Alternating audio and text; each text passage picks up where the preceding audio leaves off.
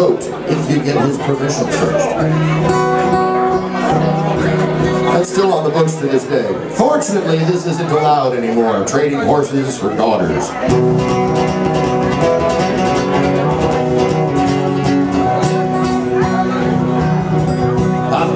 Darling Jessica when she was just 15 When her daddy traded her for a horse he'd never seen. For 15 years she shared with me my house on the hill. She said she never loved me and she swore she never will. And broke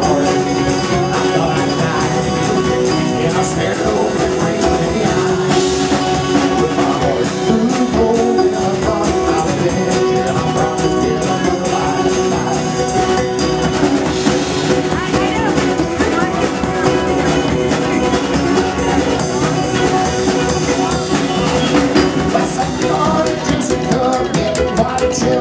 Let's go along the mountain, fetch Jordan from the smell.